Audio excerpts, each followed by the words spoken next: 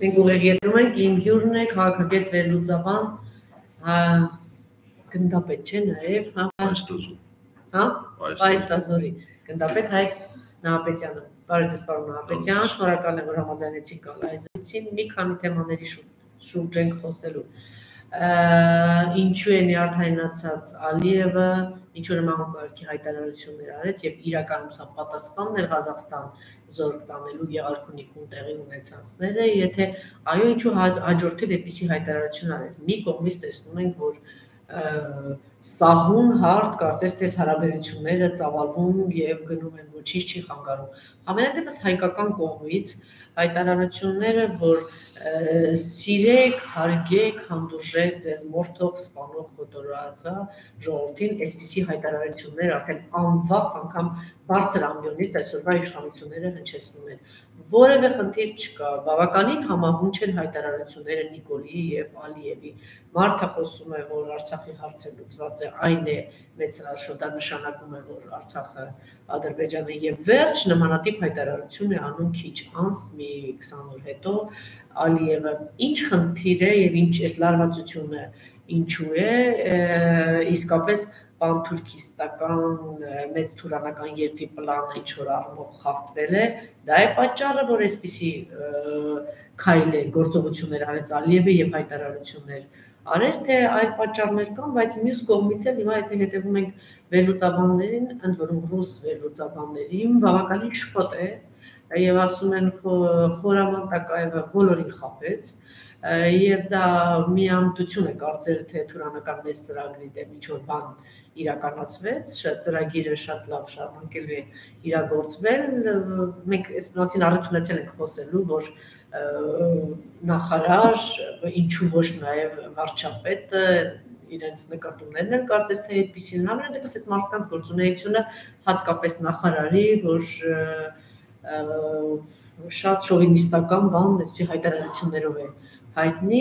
ինչևէ, ինչու այսպիսի հայտարարություններ ան, ինչու է ջղագրգիռ Ալիևը մի կողմից ջղագրգիռ է, մյուս կողմից է տեսնում ենք շարունակում է զվարճանալ։ Զվարճանալ եւ բավականին ազնիվ գտնվում է գոնեն առումով, որ իր ծրագրերը չի ཐակցնում։ Մարդը ունի մի նկատում գրավել վերջնական, ինչպես Գորիսում ծածանվում է ադրբեջանական դրոշը, ապակայում ծածանել Երևանում։ Նախ շնորհակալություն հրավերի համար։ Եկեք արձանագրենք մի քանի իրողություններ։ Իրողություն առաջին սորո Հայաստանի օրվա իշխանությունները եւ Ադրբեջանի եւ Թուրքիայի եւ Թուրքիայի դաշնակից երկրների համար լավագույն տեխնացում է։ Նախորդ երեք նախագահները երբևիցե եւ Ադրբեջանի եւ Թուրքիայի համար լավագույն տեխնացում չէին, որտեղ նրանք շատ ավելի պրոֆեսիոնալ են իրենց գործում, կարողացել են ստեղծել պետական ինստիտուտներ, զինված ուժեր, որոնք հրաշալի կերպով ստատուս քո պահում են։ Հիմա Փաշինյանը պատերազմում սկզբունքորեն պարտվել է։ Իր ամբողջ քաղաքականությունը զիջելու քաղաքականություն է։ Սա առաջին։ Եթե այդ զիջմանը որևիցե խոչընդոտ չլիներ եւ տարածաշրջանում եւ աշխարհում ուժերի վերադասավորման ընթացքում Ալիևի ջղանգրգիր գալի ասեն նույնիսկ հիսցերիկ մի կողմից երկրորդ Ռուսաստանի ցերմոց նետած այդ արությունները նա չեր անի։ Այսինքն հաշվել են ամենայն հավանականությամբ, որ եթե Փաշինյանի իշխանության օրոք իրենք չկարողացան ստանալ Հայաստանից առավելագույնը, ապա վստահաբար այս իշխանությունը չի վերարտադրվելու ինչ որ ժամանակ հետո գալու են ուժեր իշխանության, որոնք շատ ավելի անզիջում են լինելու եւ Արցախի հետ կապված հարցում եւ հայ-ադրբեջանական հարաբերություններում Ոստիև հիմա Ալիև է։ Եվ Ալիև եւ Թուրքիան ցանկանում են, որպեսզի առավելագույն իրենք ստանան այնինչ իրենց ծրագրերի մեջ մտնում է։ Եվ այդ առումով բնականաբար ճնշում Հայաստանի վրա իրենք ավելացնում են։ Սա մի կողմից, բայց կա նաև այլ հանգամանք։ Ես որոշակի առումով այլ գնահատական ունեմ Ղազախստանում տեղ ունեցող դեպքերի եւ դրա հետևանքների հետ կապված, Ալեմ շուտը հասկանում է, որ այնուամենայնիվ աշխարհում ուժերի գործնական վերապաշխում է տեղ ունեցել եւ դա ոչ օգուտ Թուրքիայի եւ Ղազախստան դեպքերը հրաշալիորեն ցույց տվեց։ Ավելին, եթե հիշենք, վերջերս Լավրովը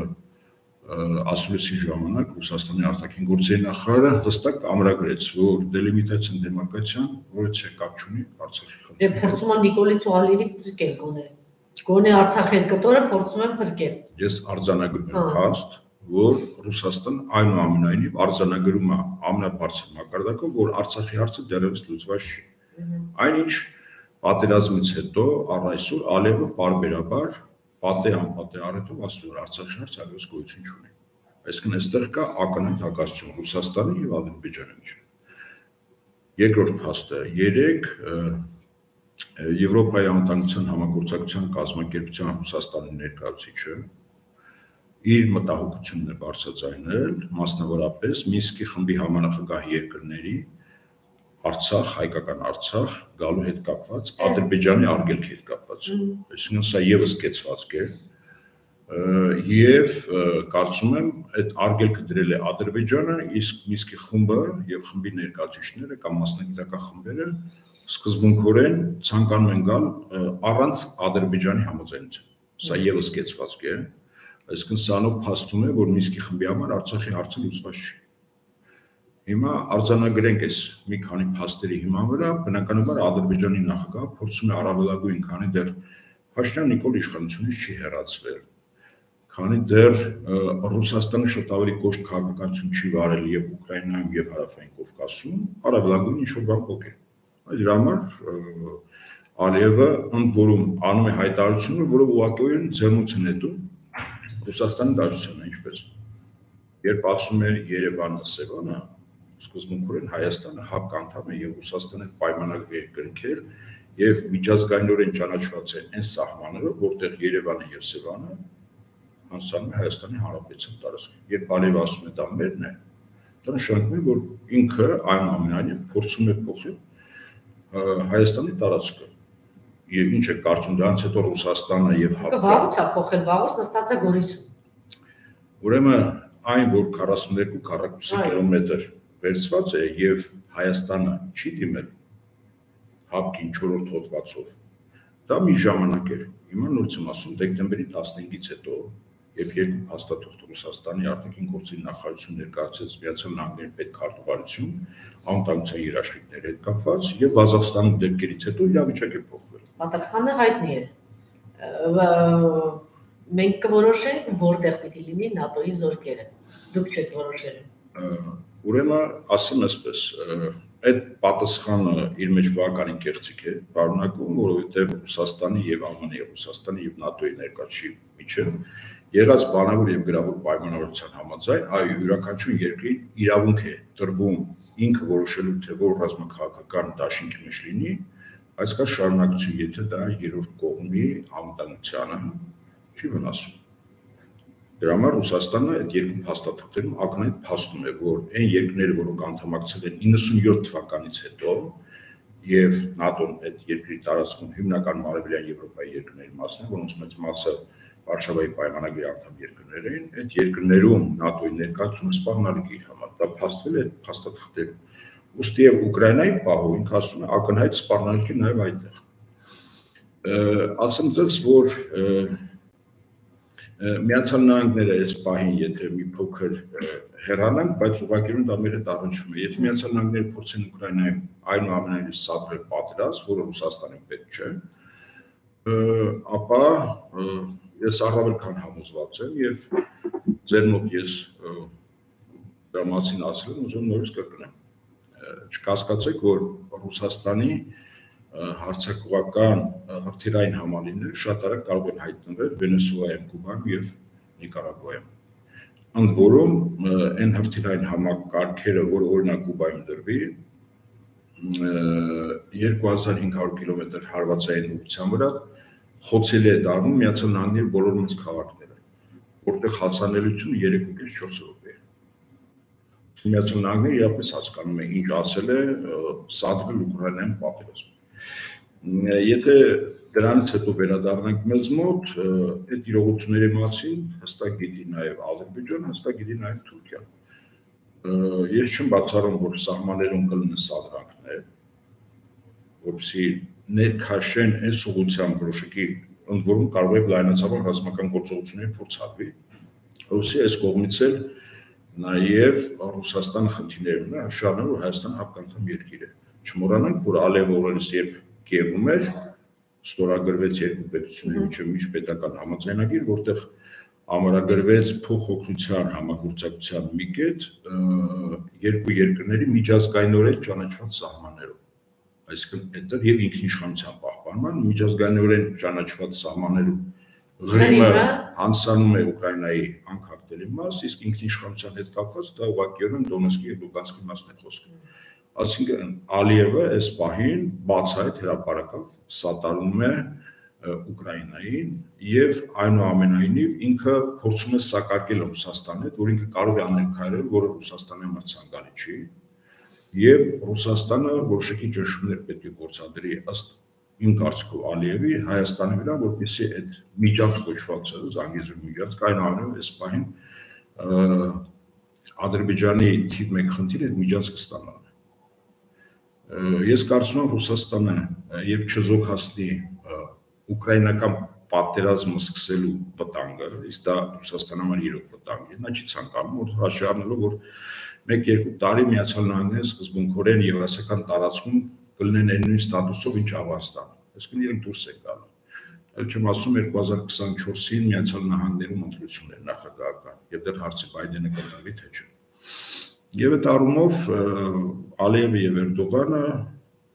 փորձում են առավելագույն այդ ժամանակահատվածում կամ մինչև այստեղից ստանալ առավելագույնը ճնշումների։ Ընդ որում Փաշտյան Նիկոլը պատրաստ է ճնշումները ենթարկվել ճնշումների եւ սիճումների գնալ, բայց դրա սկզբունքորեն ոչ միայն պատրաստ չեն, այլև դրան դեմ են եւ դեմ լինելը կոնկրետ Ռուսաստանի արտաքին գերատեսչության ղեկավարների տարբեր մակարդակներով արտահայտել է Ռուսաստան ինչպես նաև Իրանը։ Այնպես որ Փաշտյան Նիկոլը հայտնել է, ինչպես ասում են, ռուսական մուրճի եւ իրանական սալի արանքում եւ ինչ որ ինքը բայց կարող են սադրել պատերազմական ինչ-ինչ գործողություններ եւ դրա հետևանքով նորից կորցնել կամ Ադրբեջանը այլև դրանով ստանա եթե Հայաստանի իշխանությունը չի դիմում, չի դիմադրում, չի դիմակայում, չէ, այդ վտանգներն ենք ունենք։ Այո, այդ վտանգ ունենք, բայց կարծում եմ քանի որ Ռուսաստանի քայլերը կոնկրետ ԱՄՆ-ի եւ իր ՆԱՏՕ-ի անդամ երկիր երկրների դաշնակիցների նկատմամբ շատ ավելի վերջնագրային է, ապա Հայաստանի վրա կարծում եմ, եթե սադրանք լինի եւ Հայաստանը, Հայաստանի իշխանությունները չփորձեն դիմագրավել Ադրբեջանի ագրեսիային, ապա Ռուսաստանի կեցվածքը շատ կոշտ կարող լինել։ Սկզբունքորեն իր հարավային դարպասներն են եւ ինքը ձևեր եւ մեթոդներ ու միջոցներ կգտնի, որովհետեւ շատ արագ նախ 102 ռազմաբազայից անձնակազմը իր մարտական խնդիրը կատարել, չեմ ասում, որ Իրանն է մյուս կողմից կարող է Իրանը ողջունել է հայ-թուրքական հարաբերություններ, հարաբերությունը բավականին կարգավորել է Ադրբեջանի հետ, այն լարվածությունը ընդհանրապես նորել է Ադրբեջանի հետ, այնպես որ եկեք այդ հայտարարությունները այս գործողությունները ոնց որ Ադրբեջանում Արցախում այո կարող է արձագանքել Ռուսաստանը, բայց գինը արժանա ընդունեք Գեղարքունիքը եւ Սյունիքը կորցնելուց հետո այդ հեքիաթների դաշտից։ Այդ այդպես ինձ ասում էին նաև նախկին բարձրաստիճան պատասխանատու պաշտոնյաներ, որ հեքիաթի դիրույթից է, որ հնարավոր է Սյունիքից միթից։ Մենք տեսնում ենք իրենք են հայտարարում 42 Ես ասում եմ Սյունիքից մասին, այսինքն Սյունիքից այսպես հեքիաթ ասելով մենք երկիրը կորցրեցինք։ Ես այն ինչ որ ասում եմ, չէ, այդպես չի։ Օրինակ նույն Փաշինյան Նիկոլին երբ բերում էին իշխանության, ես օրինակ ասում եի, այդ անձին բերել էին Արցախ հանձնելու համար ոչ միայն առաջին հերթին Արցախը հանձնելու համար։ Այն ժամանակ այո կային եւ քաղաքական գործիչներ եւ մասնագետներ, որոնք մասնավոր զրույցներում նաեւ ինչու՞ չէ հրաապարակային ինձ ասում են, որ չափազանցնում ես նահապետյան, գույները խտացնում ես։ Հիմա երբ ես ասում եմ հեքիաթ, այդ 42 կիլոմետրը սկզբունքորեն որոշակի առումով վիճելի տարածք է։ Այո, ժամանակի որոշ տարածքներ եղել են խորհրդային Ադրբեջանի եւ Ադրբեջանը օգտվելով այդ հանգամանքից ինքը փորձ է անում, որպեսզի ինչ որ բան վերցնի։ Իդեպ այդպիսի տարածքներ կան նաեւ Հայաստանի այլ շրջաններ, մասնապես Տավուշում, որտեղ վիճել են եւ Ադրբեջանը ասում է տարածքների մի մասը խորթայի Ադրբեջանի տարածք եղել։ Նույնը Տիգրանաշենն է վերաբերում։ Բայց ինչ վերաբերում է ասում կոնկրետ Գեղարքույրքին եւ Սյունիքին, Սյունիքը Ռուսաստանի համար եւ Իրանի համար ունի ստրատեգիական նշանակություն, ես համոզված եմ, որ երբ աշխարհում ըստ լարումները Ռուսաստան աման լարումները իր գագաթնակետից հետո այլևս այս տարածաշրջանում Ռուսաստանի, Չինաստանի եւ Հնդկաստանը կլինեն գերիշխող դիրքերում, ապա գործնականում կոնկրետ փոփոխություններ կլինեն նաև մեզ մոտ։ Դուք ճիշտ եք, բայց դուք տեսնում եք, որ Ռուսաստանը հիմա, չգիտեմ, առնվազն 4-5 ուղղությամբ այդ լարվածության մեջ է։ Ինքը գլխավոր ճակատ չի թույլանում եւ բավականին ագրեսիվ են իրենց պահում։ Ուրեմն ինքը գլխավոր ճակատամարտ է տալիս, ասում ինքը գլխավոր, այսինքն իր հիմնական ֆրոնտը, ֆրոնտներից մեկը Ղազախստանն է։ Ղազախստանում կարծես թե հարցը լուծվեց։ Հիմա կարծես թե, բայց Դե այնուամենայնիվ փաստացի այդ ճակատամարտ ինքը հաղթել է։ Այս պայն հաղթել է։ Հիմա իր համար կարևորագույնը Ուկրաինան է։ Իհարկե բնականաբար ինքը չի մոռանում հարավային Կովկասի մասին։ Չի մոռանում։ Այո, պատերազմում նաև քաղաքականության մեջ լինում են, այսպես ասենք, որոշակի նահանջներ լինում են, ոչ կարևորագույն ուղղությունների, բայց եթե անհրաժեշտ պահը գալիս է, նաև այդ կորուստները հետապերվում եւ ուղղակի այսպես ասեմ իհարկե օրինակ Ռուսաստանին ձեր կտար որ Հայաստանը լինել շատ ավելի իշխանություն նախ կանխատեսելի պրոֆեսիոնալ կամ այն բարձր որակներով ոչ խոցելի գոնե նվազագույնը ոչ ազդեցություն գործակալից Փաշինյան Նիկոլը այսօր թիմի ճշող մեծամասնություն ինքը ազդեցություն գործակալներ է Եվ անհրաժեշտ բան հետո կբարձի, որ դրանց մի մասը եւս հավաքագրվել են այլ երկրների հատուկ ծառայությունների։ Հիմա արդեն հստակ կարելի ասել, չէ՞, որ այսպես պատահական մարտիկ էին ասֆալտից կերած, վերած, բան չկա։ Իհարկե չկա։ Ժամանակը ցույց է տալիս, որ բոլորը մեծ մասը առնվազն մշակած կարևորագույն պաշտոնների Այո, այո, ոչ օրինակ օրինակ հիմա գանք Ռուբե Ռուբինյան, չէ՞, առ երևույթ Արարատ Միրզոյանից է կարելի սկսել։ Ասեմ այսպես, ես կարևոր այսօր Ռուբեր Ռուբինյանն է, հա, ոնց որ թե բանակցությունների սեղան շուրջ Հայաստանը ներկայացնում։ Այդ անձը ճանենալով դիվանագիտական ոլորտում որևիցե աշխատանքային փորձառություն, ընդհանրապես աշխատանքային փորձառություն չունի, Հայաստանում իշխանության բռնազավթումից հետո հայտնվեց փոխհատգործնախարարի պաշտոն ես չեմ կարծում, որ այդ ժամանակ Փաշինյան Նիկոլի իշխանության համար կարևորագույն նախարարությունը կամ նախարարությունից մեկ արտաքին գործերի նախարարությունն է։ Նա դեռ Հայաստանում իշխանությունը պետք է ամրապնդել, իսկ ամրապնդման համար այլ կառույցներ, այլ ինստիտուտներ կան։ Ինչու միանգամից այդ անձը նշանակվեց այդ պաշտոնին, չունենալով բացարձակապես դրա համար ոչ իրավական, ոչ բարոյական հիմք, որտեղ այդ անձը ունի ստատուս, կարգավիճակ, եւ որի մասին իդեպ երեք երբ ազգային ժողովում խոսք գնաց, այն հիստերիան, որի մեջ ինքն գավ։ Դե դա նկարագրի մասին է, ինքը նաև ասում են ինչ-որ խնդիրներ են ունի առողջական։ Դե այդպիսիներին են չէ բերում։ Հա, բայց, բայց այն բանը փողկապ ուտելու պահը, օրինակ Սահակաշվիլի այո, այդպիսիներ են ընտրում են, այդ որոշակի չափորոշիչներ կա, բայց այնուամենայնիվ ինքը ամեն աստծո չի որ արձագանքում է։ Ինքը արձագանքեց մի իր համար շատ ցավոտ թեմայի Այսինքն տեսականորեն գործակալ լինելու բան։ Այո, տեսականորեն, եթե ինքը դրա այդ որից է այդ ասած այդ կապ չուներ, այսինքն ինքը հանգիստ կերպով կասեր դուք ինձ վիրավորել եք, եթե չփաստակեք ձեր ասածը, վստահաբար ես դատական ակցիաների միջոցով, ասենք, անձի արժանապատվությունն ու պատիվը վիրավորելու համար ասող անձին կամ խմբակցությանը, եթե խմբակցության անունից դա եղավ, ինքը պատիվ պահանջեր իրավական Իսկ նա ամիջական բռնկուն կեցվածք, ինչպես ասում են, երբ տեղին այդ հարվածը ստացավ, Եվ այդպեսին է Փաշինյան Նիկոլի իշխանությունը խոցելի է։ Ռուսաստանի համար ցանկալի չի որ այստեղ այո լինեն շատեր, որոնք այլ երկրների հատուկ ծառայությունների համար առայսօր էլ աշխատում են։ Բա այդ դեպքում Հայաստանի իշխանությունները կանխատեսելի չեն Ռուսաստանի համար Չեմ ասում օրինակ անտանցա խորհրդի քարտուղար Արմեն Գրիգորյան։ Մինչ այդ ես ուզում եմ մեր հետևորդներին հա ներկայացնել 2017 թվականներին Ռուբինյանը ուրեմն Ստամբուլ է գործունվել սովորել է նախագծաշրջանում հետազոտություն է իրականացրել Թուրքիայի Հանրապետությունում գործող Սաբանջե համալսարանի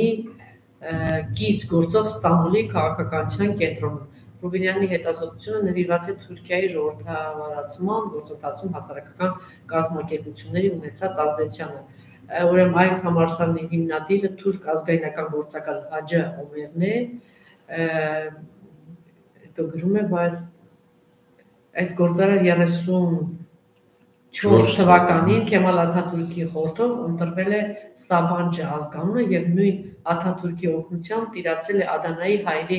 անհատական եւ եկեղեցապետական ունեցվածքին ընդհանուր առումով 100 միլիարդ դոլար համարվում է նրա զավակների 1994 թվականին հենց քարոշչական նպատակներով է ստեղծվել Սաբանջը համալսարանը այնտեղ աշխատելով հիմնականում օտարերկրացի ուսանողների հետ ուղեղների լվացում, ազդեցություն գործականներ եւ այլն եւ այլն, այսինքն կոնկրետ կոնկրետ նպատակ։ Այս կարգի մարդիկ, որոնք որ տարբեր հիմնադրամների միջոցով գործողում են տարբեր երկրներ, ուսումնառության կամ աշխատանքային փորձարկություն ձեռք բերելու եւ այլն, այդ երկի հատուկ ծառայությունները ուղղակիորեն թիրախի ներքո են հայտնվում։ Ասենք իհարկե Թուրքիան եւս փորձելու է իր տարածքում այն էլ Հայաստանից եկած նման կարգի անձած փորձելու հաշվի առնելը, որ իրենք Եվ ինքը այդ տեսակ ասենք նույն Արարատ Միրզոյան, նույն ինքը նույն Փաշինյան Նիկոլը, իրենք պոտենցիալ եւ շատ հեշտությամբ դուրին կերպով հա- հավաքագրող հացիկ են։ Եվ բնականաբար այնտեղ այդ ուսանողներին կամ ժամանած անցած Հայաստանից եւ ոչ միայն շատ արագ ուսումնասիրում են, հոգեբանական նկարագիրն է տրվում, խոցելի թույլ կողմերը ուսումնասիրվում եւ ըստ այդմ հատուկ ծառայությունները սկսում են աշխատել այդ անձի նկատմամբ։ Բնականաբար իհարկե նաև նյութական որոշակի բարեկեցություն խոստանալով, ապագայում լոբինգ անելով որ ինքը բարձր պաշտոններ կզբաղեցնի։ Ես կոնկրետ իր անձի հետ կապված ասում եմ, ճանենալով զրո դիվանագիտական փորձ, կրթություն եւ այլն, միանգամից փոխագործնախարար նշանակում։ Սա ցույց է տալիս իր ստատուսի մասը, այսինքն ասվել է Փաշինյան Նիկոլը, որ այդ անձը նշանակվելու է այդ պաշտոնում։ Գանք Արմեն Աղքիհա նախագահին։ Եվ դուք խոսում եք, ես վագիթատեցի ես Արմեն Գրիգորյանի մասն էի ասում։ Ասենք նույն այդ անձը աշխատել է երկար տարիներ մի կառույցում, որը կենտրոնական հետախուզական վարչության պետեկատվական գործառույթներ, հետախուզական գործառույթներ իրականացնող Transparency International կազմակերպության ղեկավարներից մեկն է եղել։ Սովորել է ամերիկյան համալսարանում։ Եվ ինքը եւս պոտենցիալ հավաքագրող է։ Սովորաբար կարող է Հայաստանի ԱԱՑ-ն մտածել, որ քանի քանի որ այդ կարգի երիտասարդները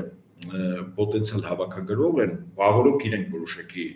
աշխատանքներ տանեն, բայց կարծում եմ, որ Միացյալ Նահանգները եւ Թուրքիան եւ նրանց հատուկ ծառայությունները այդ առումով շատ ավելի փորձառու են եւ բնականաբար ասենք նույն այդ կարգի անձած ասում են, դե գիտեք, մենք գիտենք, որ դուք ասենք աշխատում եք քո երկրի ԱԱՑ-ի համար։ Բայց դուք կդառնաք կրկնակի գործակալ, մենք դրա մասին որից է դեռ մենք չենք բարձրաձայնի, կունենաք, կունենաք Ես կարծում եմ, որ այդ կարգի երիտասարդների մեծ մասը կրկնակի գործականներ են։ Իդեպ Անդրանիկ Հովանեսյանը ձեր բավականին հաճախ հարցազրույցներ է վարում իր հետ սլավանական համալսարանի ուսանող Ղազախստանից ուրբաթ ինքը միշտ բացայտումներ արեց այս նույն Արմեն Գրիգորյանի մասին, Լիլիթ Մակունցի մասին, որ այս մարդիկ փաստորեն սլավանական համալսարանում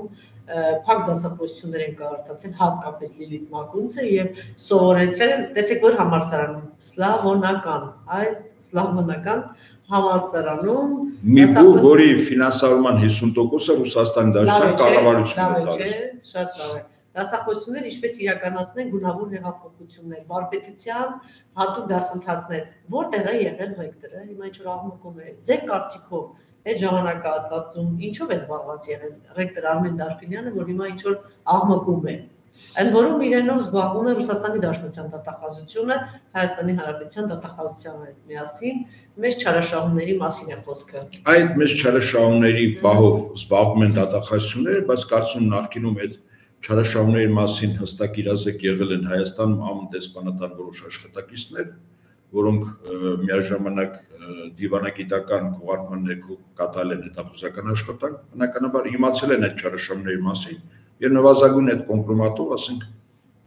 սլավոնական համասանի ռեկտորը, ասենք, սկսել է աշխատել տեսականորեն եմ ասում, բայց դա չի բացառում, սկսել է աշխատել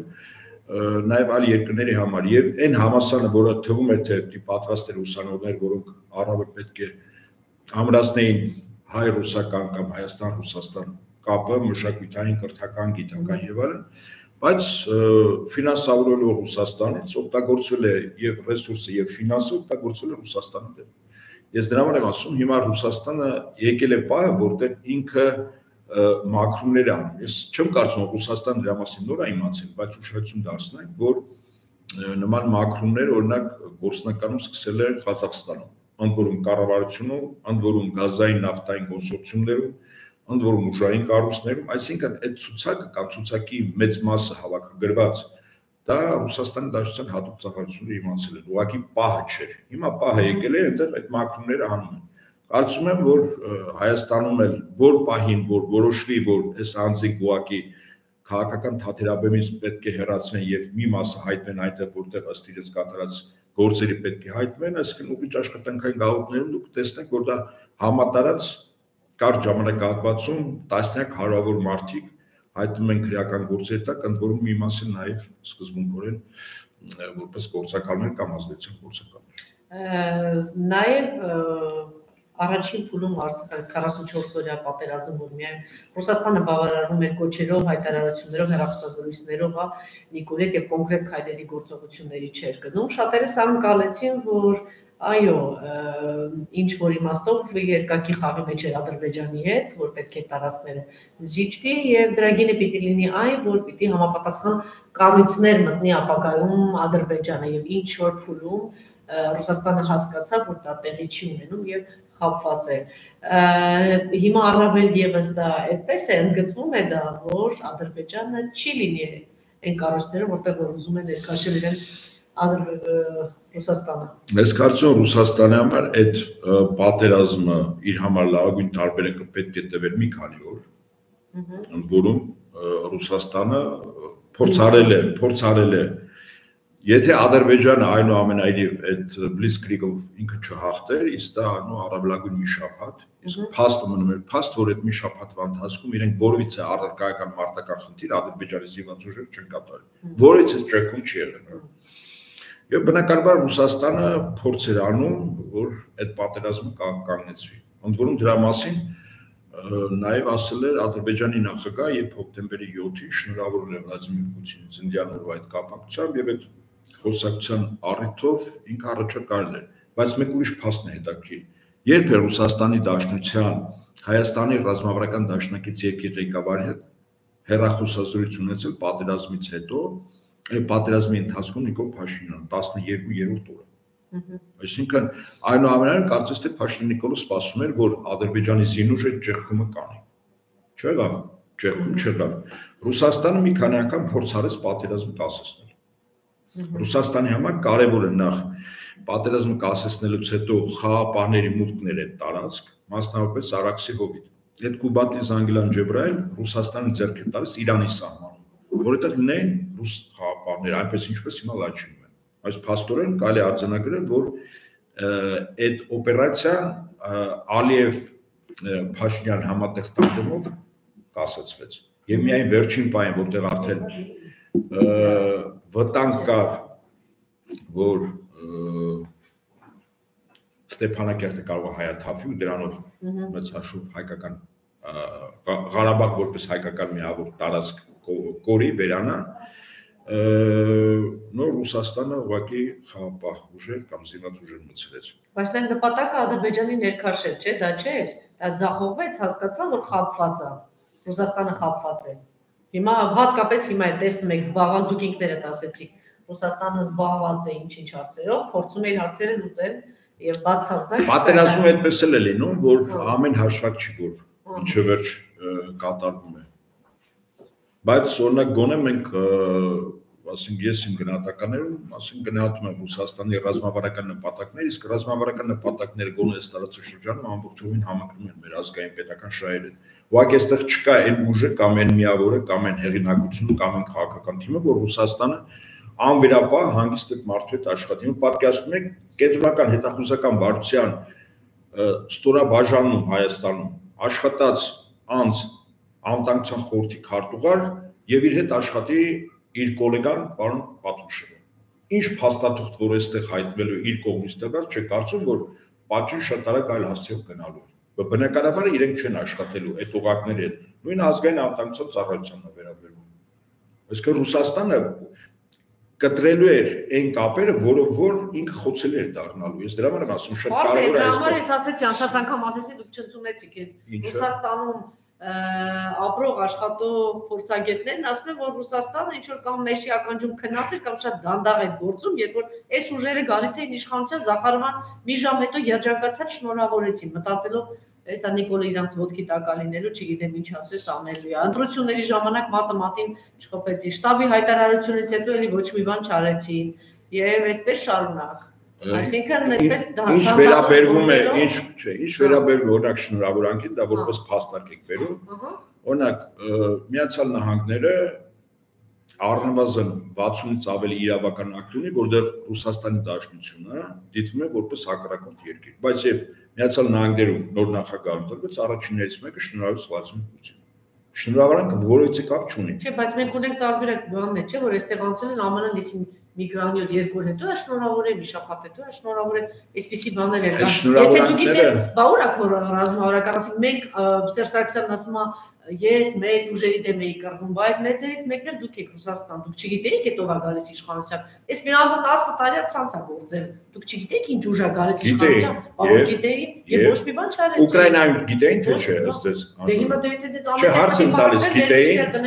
Բայց եթե այդպես չներ 1991 թվականին խորհրդանություն չէր պատմում։ Դե հիմա դա եմ ասում, մենք այսպես մտածում ենք, չնայած մյուս կողմից պիտի ասենք ճար չունենք, բայց հիմա իրավիճակը փոխվել ես ասում եմ, նախկինում այդպես էր, այո Նախկինում իրանք պարտվում էին, շատ տարածքներում էին իրենք պարտվում։ Փաստ էր դա, այսինքն այդքան ուժեղ չեն, հիմա ուժեղ են եւ տարբեր երկրներում արդեն կեցված կդրսևորում։ Ես դրա համար եմ ասում, ինչ որ Ղազախստանն է լինում, Ուկրաինայից հետո Հարավային Կովկասում լինում։ Բայց ո՞ր թողորտանքը բանը պիտի Ալիևի չլիներ, հա, զսպող ինչ որ բան լիներ եւ Ես կարծում եմ թողորտանքը թուլության նշան է։ Արդյոք շատերը տեսնում որ ինչ որ երկու երկ մարդը այսպես է նաև ընկալում, որ 3 ամիս հետո ինքը կոնկրետ գնալի է Սևանի ու Երևանի ուղությամբ Ալիևը։ Դե դա ասեց։ Ահա, այսինքն լինելու է Սա դրանք ես չեմ բացառում, որ սա դրանք լինեն, որ լայնամասշտաբ։ Բայց այդ դեպքում Ռուսաստանի ամիջական մասնակցությունը շատ ավելի կոշտ է լինելու։ Իդեպս մեր վերջին միջադեպի հետ կապված։ Վստահ եք, որ կոշտ է լինելու։ Եթե չդիմեք, եթե նույն կերպ անի իրան իշխանությունը, չի դիմում հարկին եւ 4-րդ կետը, ես 4-րդ կետը չի դիմում, ի՞նչ է լինելու։ Գալի է միջամտի։ Տեսնենք։ Բա, փաստ է, չէ։ Տեսնենք։ Հմ։ Ես ասում Կամ իրենցից անգամ գալի է մեր օդը փակի։ Ես նորից եմ ասում, եկեք ընդունենք, որ իրավիճակը է փոխվել։ Բայց օդից չեմ ասում։ Այո, նախկինում Ղազախստանի, հա։ Այսօր ռուսա հիմա օրինակ Ռուսաստանը այդ երկու փաստաթուղթը որ ներկայացվել է Ամերիկային։ Վերջնագիր է, չէ՞, ուլտիմատում։ Սկզբունքորեն։ Դե ասում են գրավոր տեսքով պիտի պատասխան ստանամ ձեզանից, ես Բայց այն կետերը, այն կետերը, չէ, այն պատասխանները, իդեպ ասեմ, այդ պատասխանները այդպես չի։ Իրենք ասում են, որ երկիր ուզում է ինքը կորոշի ՆԱՏՕ-ի անդամ լինի։ Օրինակ այս պայն ԱՄՆ ցանկանում էր, որ Շվեդիան եւ Ֆինլանդիան դառնային ՆԱՏՕ-ի անդամ։ Երկու երկրները հրաժարվեցին, իդեպ ասեմ։ Սրա մասին չի ասում։ Այսինքն այդ երկրները ակնհայտ գիտեն, որ վերջ վերջնաբանը ինչ ալնելու։ Եվ դրա համար եմ ասում, որ պահին, որ Ադրբեջանը փորձի սադրել,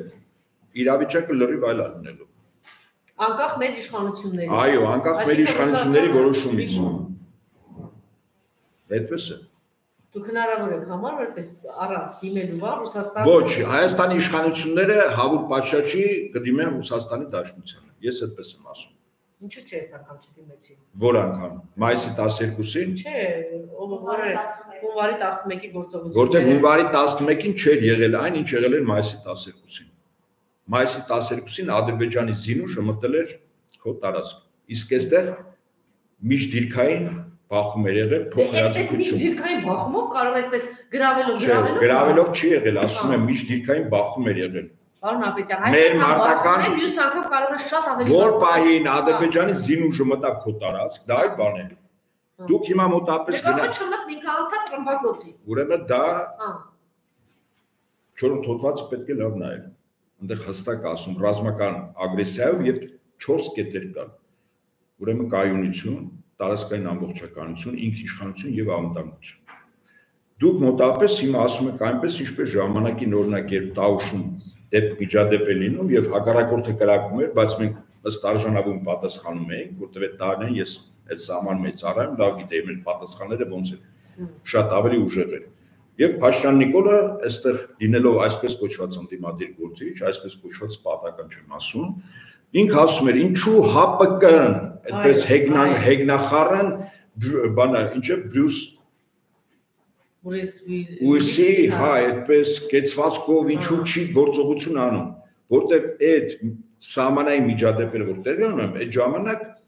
4 հոդվածը չի աշխատում։ 4 հոդվածը օրինակ ագրեսիայի դեպքում, երբ քո տարածքային ամբողջականություն խախտում է։ Օրինակ հիմա կարող ենք ասել այսպես, ինչու Փաշյան Նիկոլը այսօր չի դիմում հապկին 4 հոդվածով, հաշվի առնելով, որ Անցյալ տարի մայիսի 23-ին անձամբ ինքն է հայտարարել, որ Ադրբեջանը Հայաստանի Հանրապետությունից 42 քառակուսի կիլոմետր տարածք է վերցրել։ Օրինակ ես ձեր տեղը որ լինեի, ինձ որպես օպոնենտ կարող է հասնել, օրինակ հիմա ինչու չի դիմում։ Ինչու՞ դրա Ռուսաստանը ես կարող եմ նաև ուրիշ հարցեմ, ինչու՞ մեն օդը չի փակում։ Արցախին այսպես ձերքի հետ բացում էր, փակում էր ըստ տրամադրության։ Բացում էր, նա կոտորում էր, փակում էր, պահում էր։ Հիմա ինչի՞ չի փակում։ Ինչ ասելա օդ փակաշ։ Ասելա, որ այդ զենքի դեմ կանգնեն։ Փակա մեր օդը, փակա, բայց կրակում են ադրբեջանցիները։ Դե օդը փակելը հրաձգային զենքին չի վերաբերվում։ Դրանով չես կարող փակել։ Բայց մեր հրաձգային զենքը Դե այնինչ կիրառվել է, այո, այո, այո։ Իսկ դուք այ այ զինատեսակ չի կիրառվել։ Իսկ դուք վստահ եք, որ Ադրբեջանն է կիրառել այդ զինատեսակը։ Իսկ Թուրքիան է կիրառել։ Չէ, հա, օրինակ կարող է հայերը կիրառել։ Պարոն Աբեջան, հիմա մենք արդեն գնացինք, չգիտեմ ուր։ Եթե ես այդ շարունակեմ այդ հայերը եւ այլն եւ այլն։ Ես կխնդրեմ իմ ասածը հետո ստուգել այլ ճանապարհներ։ Շատ լավ։ Անցնենք հաջորդ հարցին։ Տեսեք, մեր նախնական զրույցում դուք ասացիք դա ընդհանրապես բանն է այսօրվա հայ-թուրքական այս հարաբերությունները այսպես ասած գլխավոր թեմայից շեղել, բայց իրականում տեսակետ կա, որ այսօրվա գործարանները, այն գործարանները, ովքեր հայտարարում են, որ այո, պետք է այդման հարաբերություններ, տնտեսական, բարեդրացիական, չգիտեմ ինչ, հարաբարեկամական, հարազատական հարաբերություններ ստեղծի Թուրքիայի հետ շատ ավելի վտանգավոր են Նիկոլից որտեղ իրենք այսպես ասած սպիտակ եղերն են տակից, հա, իրականացնում, բայց զարմանում եմ, որ դուք մի քիչ այդ բան եք տեսել, բան չեք գնահատում, ասելով որ այդքան այդքան է վտանգավոր չեն այս հանդիպումները։ Դուք տեսեք, այս հանդիպումները կայանում են Ռուբինյան բա Մոսկվայում կայանում են նմանատիպ հայտարարություններ եւ նմանատիպ հայտարարություններ իրենց падգամավորների գործարանների կոնգրեսան նշանակում է շատ կոնկրետ պլանավորված այդ հանդիպումը Մոսկվայում բացարձակապես կապ չունի մասնավորապես ձեր ասացի համատեքստում ասենք Խաչատուր Սուքեսյանի երեկվա տված գնահատականի հետ Խաչատուր Սուքեսյանը ոչ այդել էր ասում, որ Թուրքիայի հետ այո տնտեսական հարաբերություններ ստեղծել, պետք է բարեկամություն անել, վերջին հաշվով Թուրքիան հարևան է, ավելի լավ է լավ հարևանը բաց բարեկամից եւ այլն։ Դա այդ հանդիպանը դեռ չկապ չունի։ Բայց այն որ դեր հետ ես համակարծք եմ որ Խաչատուր Սուքեսյանները, այսպես ասեմ, ապագայում շատ ավելի մեծ վտանգ կարող են ներկայացնել։ Ապագայում չէ այսօր Ինչ ապագա։ Այսօր մարդիկ կոնկրետ գործունեություն են ծավալում, կոնկրետ ծրագրեր եւ պլաններ կա եւ ընդ որում շատ բաց են խաղում։ Ապագայում կարող են ավելի վտանգավոր լինել, քան ներկա իշխանությունները։ Այսօր գործնականում այս իշխանությունները ձեռք որոշակի լծակ կա, բայց եթե վաղը չեմ սուրը Թուրքիան տնտեսական էքսպանսիայի համար բավարար իրավական եւ գործնական հնարություն ստացավ, օրինակ Խաչատուր Սուքյասյանը կարող է դառնալ Հայաստանի չթակադրված իրական ղեկավարը եւ ոչ Փաշտան Նիկոլը։ Դա համար եմ ասում, այսօր ոչ, բայց վաղը այդ տեսակը գործնականում ավելի մեծ իշխանություն կարող է ունենալ Հայաստանում, քան այսօր է, հիմքերը դրվում են։ Հիմքերը դրվում են, բայց ես ասում եմ վտանգը, գործնական վտանգը, որտեղ այդ վտանգը պիտի չեզոքացվի։ Ես դա համաձայն եմ, այսօր պիտի այդ գործը սկսել, բայց վտանգի առումով ինքը բաղն է ավելի վտանգավոր։ Եվ դրա լավագույն դրսևորումը օրինակ Վրաստանի Աջարյանը այդ այդ Վրաստանի այդ տարածքը ամբողջովին Թուրքիայի վերահսկողության տակ է։ Ես Թիֆլիսը, այնպես չի որ Թիֆլիսը անմաս է, ես բավականին հաճախ եմ լինում, դե տեսնեք այնտեղ ինչ է կատարվում։ Հա, ինչ հոսքով, ընդ որում պատմականորեն այդպեսի բան խնդիրներ չունեն։ Ինչու է այդպես բանով վերաբերվում, որ այդքան է կարևոր չէ այս հանդիպումները։ Երկու կարևոր բան, ցեղասպանությունից հրաժարվել, հա, առանց նախապայմանների Արցախի խնդիր դու գիտեք, որ դա օրակարգային հարց է Թուրքիայի համար Եվ եւ մարդիկ բավարարված զավեշտի վերածված նմանատիպ հանդիպումները տևում են օրերով, ամիսներով։ Օրինակ դուք իրացեք սեղանի սեղանին ինչ փաստաթուղթ տակ։ Սեղանին մի հատ փաստաթուղթ էր վաղուց գրված էր, բերել են երևի այդ Իրան էլ ասել նա սուրճ խմի գնա ժամ։ Ես չեմ հավատում, որ այդ փաստաթուղթն է սեղանին դրված։ Ինչ է դրված։ Ես կարծում եմ այլ փաստաթուղթ է եւ այդ փաստաթուղթը այսօր մեր ժողովրդից քաղաքական ուժերից գախնի է պահում։ Ես այդպես եմ կարծում։ Կարևոր հարցեր հրաժարվել Արցախից ցեղասպանությունից։ Ես կարծում եմ ոչ ոչ Հայաստանի, ոչ Հայաստանի շահերից եւ Բնականաբար, բնականաբար, իսկ չեք ասում օրակարգից չեղել։ Ասում եմ, իմ կա դրվում։ Ասում եմ, որովհետև Ռուբեն Ռուբինյանը ոչինչ չի որոշում այդտեղ։ Ռուբեն Ռուբինյանը նշանակում է Նիկոլ։ Այսինքն այդ Ես այդքան էլ համաձայն չեմ։ Ես այդքան էլ համաձայն չեմ։ Որպես ինչ որ Դա անգամ Նիկոլը չի։ Հա, թուրքը Թուրքիա է դա, այսինքն անգամ Նիկոլը չի։ Հայաստանը այդ բանակցություններում սուբյեկտ չի։ Ես դրա համար եմ ասում, այդ բանակցությունները դուք որ գնահատում եք, ես ասում եմ այդ բանակցությունները ինքը շեղով է, որտեղ իրականում ոչ մի բանակցություն չի գնում, մեկ, երկրորդ Հայաստանը այդ սեղանի շուրջ նստած խոսակցության ժամանակ սուբյեկտ չի։ Դե ավելի վատ։ Էպես չի որ դա լավ է, թե ոչ մի առումով մենք չենք, ես ով ասում լավ։ Ես ուզում եմ ասել ինքը մեծ վտանգ ունի իր մեջ, դա հենց այնպես չի որ գնացել են։ Հա, ուզում եք ասել մի կողմը ռուսներն են, մյուս կողմը թուրքերը։ Կամ այդ Ռուսաստան Թուրքիայի, եթե անգամ այդպես է էլի վտանգավոր է, եթե հայ է չի, ռուսն է, չգիտեմ։ Ես վտանգի մասին ավելին եմ ասում, քան դուք, բայց որ բանակցությունները ինքը թեմա է քննարկման, ես դրա մասն եմ ասում, դա շեղով է։ Ոչ մի բանակցությունը չկա։ Եվ սեղանին դրվել է փաստաթուղթ, որ հետո Փաշյան Նիկոլը կամ Ռուբեն Ռուբինյան ստորագրելու են։ Վտանգը այդտեղ է շատ ավելի լուրջ վտանգ կա, քան այն ինչ որ հիմա բանակցություն է գնում, ինչ որ մեքենայի վրա դրոշ կա։ Շեղելու բան կա իր մեջ, բայց մյուս կողմից ժամանակին դաշնակցություն է դարձրել, չգիտեմ ինչ։ Այս թեման հայ-թուրքական հարաբերությունները վտանգ չեն տեսնում, որ կարող է սա ինչ որ պայթունի վերածել։ Որտեւ այն ժամանակ այդպես էր պետք։ Այդպես էր պետք։ Իշխանություններին պետք էր որ դաշնակցությունը թեմա դարձնել եւ դաշնակցությունը թեմա դարձնել։ Այսինքն այսօր եթե Նիկոլին Պեչի դաշնակցություն չի դարձի դա թեմա։ Իրականությունն ցույց տալիս, դարձնում է թեմա։ Դե չգիտեմ, գուցե թույլա չի կարողանում դարձնել, բայց ես չեմ կարող։ Խոսելու համար ի՞նչ Այն ժամանակ ինչ էր անում դաշնակցությունը։ Խոսում էր, արձագանքում էր, վերլուծում էր, ցույցեր էր անում։ Նստած ցույցեր, հացադրում։ Դա անում էր, հիմա ինչ, դա ինչ խանգարում է Նիկոլը դրան, որ դաշնակցությունը անի, ինչ կանի Նիկոլը, ոչ մի բան չի անի։ Ես կարծում եմ ձեր հարցին լիարժեք պատասխան տվեցի։ Այն ժամանակ իշխանությունները պետք է որ դաշնակցությունը կեցված դրսևորեր, բականին կոշտ։ Կեցված դրսևորում էր, հիմա կեցված չի դրսևորում։ Ինչ է կարծում դաշնակցության ղեկավարները չեն հասկանում վտանգի մասին։ Ինչու կեցված չեն դրսևորում ոչ միայն դաշնակցության։ Ինչու միայն դաշնակցության։ Ես հասկանում եմ, որ հայդատի հետապնդող քաղաքական միավորը, որ նաև արտերկրում է ներկայացված ինքը դիլնի, բայց ինչու մյուսները բավական շատ ավելի մեղմ են այն վտանգներով, վտանգների հետ կապված, քան որովհետև դաշնակցությունները 100 տարի գործունեության հիմքում ունեցել է այդ խնդիրը։ Հայաստան-Թուրքիա ցեղասպանություն առաջնային, ճիշտ է։ Հայդատական այդ խնդիրն անեցել նախ, Հետո դուք ճիշտ եք նաև մյուսները, բայց դերևս ամենաշատը իրեն։ Դուք եթե ուշադրություն դարձնեք 2019 թվականին դաշնակցության ղեկավար կազմի մեջ եղավ փոփոխություն։ Եվ ղեկավար կազմից շատ անդամներ եկան Միացյալ Նահանգներից, նշանակվեցին եւ Կանադայից, դա պատական չէ։ Դաշնակցություն կուսակցությունը, եթե ուղղակիորեն Հայաստանակենտրոնալ շատ լավ է, բայց դաշնակցության վրա ազդեցությունն է նաև բյուրոյի անդամներ, ղեկավարներ, որոնք այլ երկրների քաղաքացիներ, բնականաբար սպասարկում են մեծ հաշվով այդ պետությունների ազգային պետական շահերը։ Դաշնակցությունը այդպես միական կառույց չի, որ ասենք այսպես։ Հետեւաբար, եթե դրսին պետք լինի, որ դաշնակցությունը կեցված չդրսեւորի, վստահեցնում եմ դաշնակցությունը։ Այսինքն, Մստեր Սարգսյանի ժամանակ եւ դրսին եւ ներսին պետք է որ դաշնակցությունը կեցված լինի, որտեղ դրսի դաշնակցությունն էլ չի կեցված։ Այո, այո, Այո, պետք է հիմա հիմա ոչ։ Ես ես փաստեր եմ արձանագրում, իհարկե, ուր է դաշնակցությունը։ Ուրեն մյուս կուսակցությունները ինչ կոշտեցված։ Ես նորից եմ ասում, ես կարող եմ ենթադրել, չեմ տեսել, բայց ես ենթադրում եմ, սեղանի շատ ավելի ծանր փաստաթուղթ է դրված։ Եթե վաղը չեմ իսուր այդ փաստաթուղթը ստորագրված տեսնեմ, հիմա իրականում իրենք հասարակական կարծիքի վրա մոնիտորինգ են անում։ Տեսնում են հայությունը, ժողովուրդը, քաղաքական ուժերը ինչով են զբաղվում։ Դրոշով, մեքենայի վրա դրոշ կար թե չկար, այդ անznավորության հիստերիկ կեցվածքով ազգային ժողովում բուն կարևոր թեմաները շատ ավելի մի կողմի վրա է դրված։ Տեսնել է որ ժողովուրդը եւ իր քաղաքական էլիտան առանձնապես պատրաստ չեն այդ պահին, այդ ժամանակ անհրաժեշտ պահին, ասենք կարող է ստորագրել ինչ-որ փաստաթուղթ։ Իդեպ հիշեցնեմ ձեզ, որ Սերժ Սարգսյանի իշխանության ժամանակ այդ հայտնի արձանագրությունները Թուրքիայի հետ կապված մերժվեց 18 թվականի մարտի 1-ին Նիկոլի իշխանության գալուց առաջ սա ուղակի միջավայր մտածել տեղի կա տալիս այսինքն Սերժ Սարգսյանի իշխանությունը վերջին հաշվով այդ Թուրքիայի հետ հարաբերությունները վերջնականապես թաղեց իսկ Փաշինյան Նիկոլը եկավ եւ հիմա տեսնում եք ինչ է Ինչու հանրապետականն էլ է ազգային ուժ, ինչու հանրապետականը չի ամբոստանում։ Երեք Էդուարդ Շարմազանովը ձեր հյուրն էր, օրինակ այդ հարցը իրեն տայեք։ Ես իրենց տղոց պատասխանեմ, ինչու չի արձագանքում։ Չէ, դաշնակցները կարողացել պատասխանել հանրապետական։ Դուք դաշնակցության մասին ասեցիք։ Հա, հիմա այս հանրապետականի մասին եմ ասում, որտեղ հաջորդ հյուրս էլ է հանրապետական, հաստատ ուղղել եմ այդ հարցը։ Հիմա այստեղ է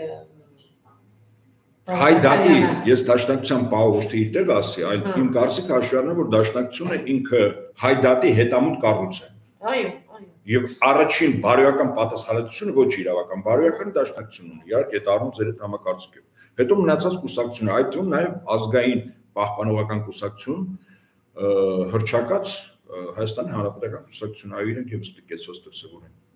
Բոլոր անխտիր Հիմա տեսեք, իրենք ասում են, որ պետք է բարեկամություն անել հարևանների հետ, հա, այս լոզունգն են տարածում։ Այսինքն ոչ միայն տարածում, այլ իշխանությունը ոչ միայն տարածում, կոնկրետ գործնական քայլեր են անում եւ ինչ որ բաների մասին է խոսում կգան մեր հիվանդանոցներ, չգիտեմ ինչեր, այսպիսի գործնական ինչ որ բաների մասին։ Իդեպ հայկական շուկան լցված է թուրքական բանջարեղենով, 3 առաջ օր ես ահազանգ ստացա, որ այդպես տեղական արտադրանքը մնում է։ Մի քանի պահեստների տերեր մերժել են ստանալ։ Ինչ խոստացա, որ առաջիկա օրերին կգան առավել մանրամասը կներկայացնեն թե ինչ է եղել։ Մերժել են իրենց պահեստներում ընդունել այնտեղից վաճառել թուրքական ապրանք եւ մի մասի նկատմամբ կամ բռնություն կամ պարտադրանք կամ չգիտեմ ինչ ստիպել են որպեսի վերցնեն, հա, նաև ուզում եմ ասել, հենց այնպես չէ, զուգահեռ այս ամենը գնում է։ Մի հայտարարության մասին, պարոն Աբետյան, երբ ասում եմ պիտի մենք բարեկամություն անենք։ Մենք պիտի սերունդներին չփոխանցենք թշնամի հարևաններ, այսպեսի բան են ասում հարց, ինչու այս դեպքում շատ կոնկրետ հա Սուքեսյանին եւ Էթինին։ Ինչու այդ դեպքում 2.5 տարի արդեն իշխանության էր Նիկոլը, այս թիմը, որ հոգեկերտվածքով ամեն ինչով իրենց նկարագրում մտածողությամբ դեպի Թուրքիային, հա, ինչու դա չարեցին, չնախաձեռնեցին այսպես ասած ընտրված մարդը, որ բարբաջում է ես ընտրված եմ եւ ինչ ուզեմ կանեմ, այդ մի մարդը ես եմ, հիշում եք, չէ՞, Նիկոլ է, այդ որոշում կայացնող բոլոր հարցեր մի մարդը ես եմ։ Ինչու չնախաձեռներ դա սկզբում եւ ինչու հայրենիքը այս կերպ կոտորածով հանձնեց եւ հիմա նոր է հրապարակ բերում այս լոզունգները։ Հայաստանը ուժեղ դիրքեր ուներ նախորդ իշխանության ժամանակ, Սերժ Սարգսյանի ժամանակ Եվ ինքը կարողանում էր ուժեղ դիրքերից խոսել, ներառալ որ կար Արցախ, հայկական Արցախ, կար հայկական զինված ուժեր եւ Հայաստանում եւ Արցախում։ Եվ Թուրքիայի շահեկան չէ, ձեռք չէ տալիս, որ հայկական կողմը ուժեղ դիրքերից խոսի։ Իսկ հիմա Թուրքիան ձեռք տալիս է, որպեսզի հայկական կողմը որպես պարտված կողմ խոսի, իհարկե ձեռք է տալիս։ Դա համար այն ժամանակ ձեր նշած անձը չէր խոսում, որտեվ ինքը երկրորդ խնդիրը, որտեղ իրեն բերել էին, ես դա 18 թվականի մարտ ապրիլ ամսին եմ ասել, դեռևս էլ իշխանություն չուներ։ Առաջինը Արցախ հանձնելու, ընդ որում ես ասում եմ պատերազմով հանձնվելու Արցախը եւ երկրորդը հայ-թուրքական հարաբերությունները ցեղասպանությունից հրաժարվելը սահմանների բացում, որը մեր համար կատաստրոֆիկ կլինի։ Քանի դեռ Հայաստանը մինչև 2020 թվականի սեպտեմբերի նոյեմբերի 9-ը պարտված չէ Հայաստանը խոսում էր այլ քաշային կարգով հարաբերվում են Թուրքիայի հետ եւ աշխարհը Հայաստանն այդպես է ընդունում։ Պարտությունից հետո բնականաբար մենք որպես պարտված երկիր ենթարկվելու ենք այն պարտադրանքները, որտեղ ուժերները փորձելու են մեզ պարտադրել։ Այո, այսօր Այսինքն Նիկոլը պլանավորած տարավ պատերազմի, ջարդի, կոտրվածի բանակի ոչնչացման։ Այո, պարտված վիճակով, որ հետո Թուրքիայի ցանկացած պահանջ անվերապահ կկատարի, իսկ իրեն բերել են հենց դրա համար։ Անվերապահ կատարելուց հետո Փաշյան Նիկոլ ասի ես այլ ընտրանք չունեի Հո Հայաստանի երբ որ ես կես կատակ կես լուրջ ասում եմ, եթե Նիկոլին ասեն, այ ինչու Հայաստանի մի մասը տվեցին, ինքը պատասխանել, բա ու լրիվ չի տա Ադրբեջանի։ Այդպես են ասում։ Դե հիմա չգիտեմ, ասում եմ ես։ Տվեցի որ մնացածը պահեմ։ Դե հիմա ինքը է պարտված լինի, որ ասի ես մի մասը փրկելու համար այդ հայտնի հերոսի հայտնի դերասաններ չէ ասում։ Որպեսզի չկոստես ամբողջը է տաս մի մասը։ Հիմա ինքը ամբողջ համար մասը կա։ Միամիտներ են, թե ուղղակի ախորժակով է, թե ինչ է։ Ես կարծում եմ, որ այն գործարարները, որոնք Թուրքիայի հետ ուղղակիորեն պետք է մոտ ապագայում դառնան թիմ 1 օլիգարխ աշխատելու եւ թուրքական շահերի լոբինգով զբաղվեն Հայաստանում, ոչ միայն տնտեսական, այլև քաղաքական դաշտում, իրենք իրենց պատկերացնում են Հայաստանի իրական տերը։ Ապագայում թե այսօր արդեն։ Ու կարծում եմ մոտ ապագայում եւ իրենց մոտ վարչապետներ, նախագահները իրենց մոտ աշխատելու են որպես այդպեսին իրական տերը իրենք են, իրենք կարծում են, որ այդպես է Եվ դրա ամենամեծ հավակնողը այդ դերին Խաչատուր Սուքյասյանն է։ Շնորհակալություն։ Իմ հյուրն էր քաղաքագետ Վերլուծաբան Հայկ Նահապետյանը, խնդրում եմ մնալ մեզ հետ։ 1 րոպեից նորից ուղիղ եթերում ենք։ Իմ հյուրն է Արտակ Զաքարյանը։ Շնորհակալություն, պարոն Նահապետյան։ Շնորհակալ եմ։